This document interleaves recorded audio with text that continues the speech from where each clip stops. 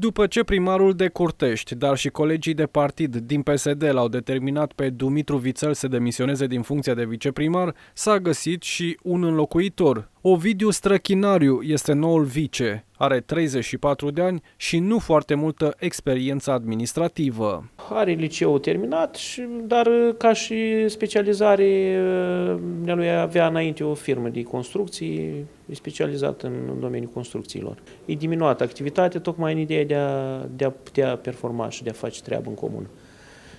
Persoane la 416, cu drumurile, cu petruiri, cu dezăpeziri pe anotimpul recii, cu recepția lucrărilor, cu uh, recepția lucrărilor pe, pentru amenajamentul pastoral la pășunea comunală. Și la Nicșeni a fost ales un nou viceprimar. Marcela Pătrar va face echipă cu primarul Iulian Iliescu. Marcela Pătrar are 45 de ani și a lucrat la oficiul poștal din comună.